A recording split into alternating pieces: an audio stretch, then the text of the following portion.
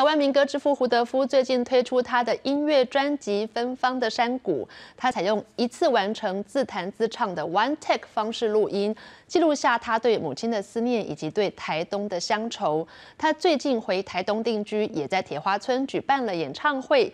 一想世界团队特别前进台东，听他唱每一首歌的背后的故事。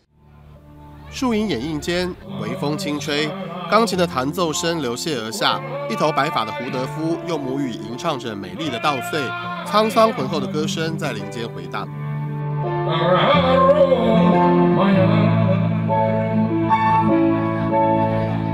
距离上一张创作专辑已经有十年，这几年胡德夫回到台东潜心创作，终于出最新专辑《芬芳的山谷》。天空翱翔。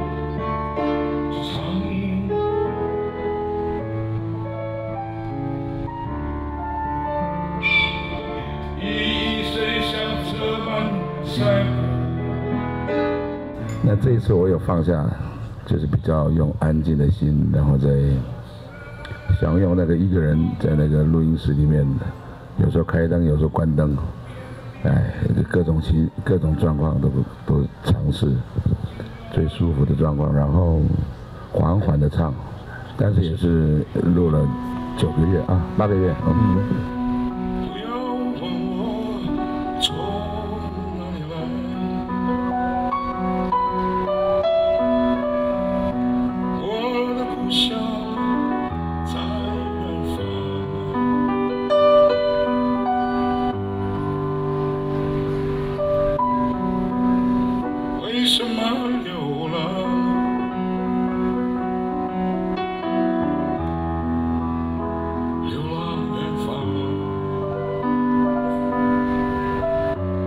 专辑中，胡德夫特别收录了李泰祥的创作《橄榄树》跟《答案》。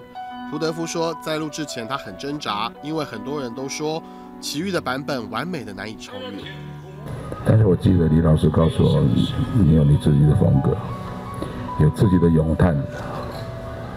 那所以我就把这两首歌呢，用我自己的方式，自己的那个咏叹，记住他那个话，想要来就是放在。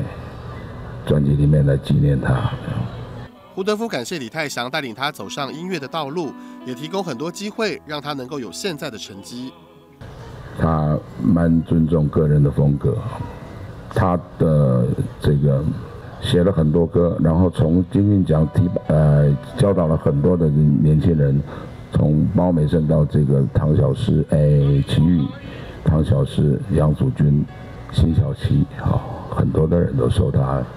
的知道，他真的把身段整个放下来，关怀台湾的通俗音乐，让我们那个时候的那样年轻人的创作能够在编曲，还使用乐器，还在整个 performance performing 在舞台上的表现上面，因为他而这个更上一层楼。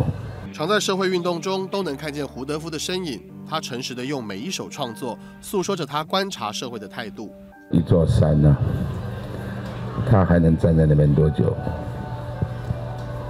之后他就会冲到被铲平，然后冲到海里去。一个白海豚，它还能游多久？然后你会发现到它在沙滩上已经搁浅在沙滩上面了。一个人要多少耳朵才会听到别人在痛苦，或者是有人在哭啊？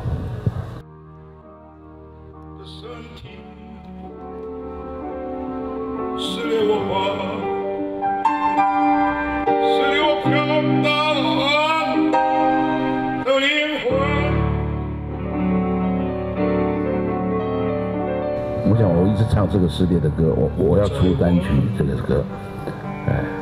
这中桥的诗，然后呢，我会唱唱到撕裂停止为止。胡德夫用他的歌声诉说着一路走来生命的深度与厚度。